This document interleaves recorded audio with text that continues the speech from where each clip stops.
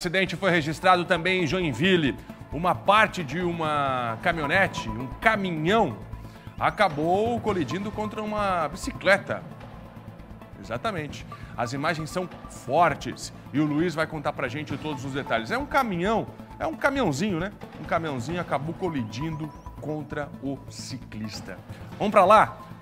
Todos os detalhes da informação é contigo agora, Luiz, direto do local. Bom dia.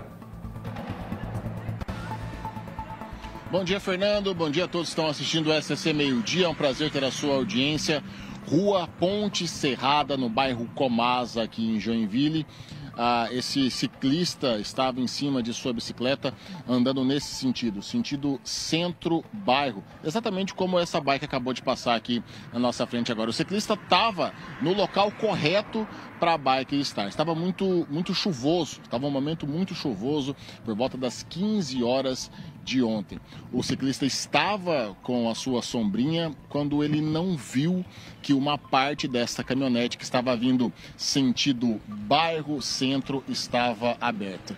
Então ele acaba se chocando exatamente nesse local aqui onde nós estamos. Acabou se chocando. A gente pode ver até que tem pedaços ainda aqui da sombrinha desse, desse menino que acabou sendo atingido. Uma cena forte que aconteceu aqui no bairro Comasa.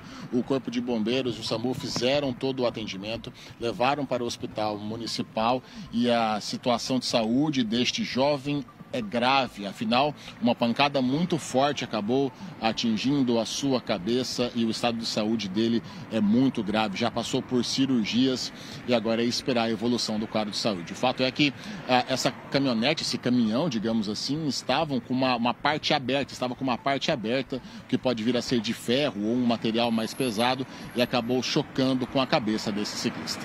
Eu volto contigo no estúdio, Fernando. Muito obrigado pela informação. Aí o Luiz, direto de Joinville. Felizmente o caminhãozinho acabou colidindo contra o ciclista lá no norte do estado. E aí está o Luiz com todas as informações direto do local. Vamos seguir? A Júlia está chegando com outras notícias.